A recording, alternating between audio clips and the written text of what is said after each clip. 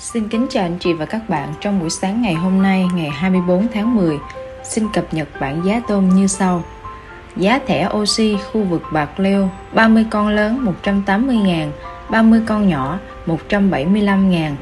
Giá tôm thẻ không kháng sinh khu vực Sóc Trăng và Bạc Liêu 30 con lớn 165.000, 30 con nhỏ 160.000, 40 con nhỏ 130.000, 50 con 118.000, 60 con 105 ngàn 80 con 100 ngàn 100 con 84 ngàn. Giá thẻ oxy luộc đỏ khu vực Sóc Trăng, Bạc Liêu và Cà Mau 40 con lớn 135 ngàn. 30 con nhỏ 170 ngàn. 30 con lớn 175 ngàn. 25 con nhỏ 215 ngàn. 25 con lớn 270 ngàn. Giá thẻ eo bắt ngang khu vực Bạc Liêu 60 con 105 ngàn. 100 con 95 ngàn. 150 con 80 ngàn. Giá thẻ không kháng sinh khu vực Cà Mau, Bạc Liêu và Kiên Giang 20 con 260 ngàn.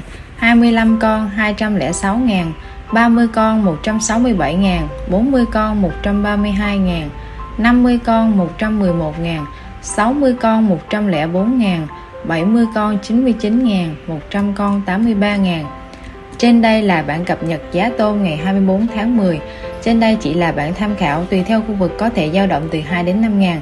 Cảm ơn quý anh chị và các bạn đã lắng nghe. Kính chúc anh chị và các bạn có một ngày mới thật nhiều niềm vui và làm việc hiệu quả. Xin chào và hẹn gặp lại.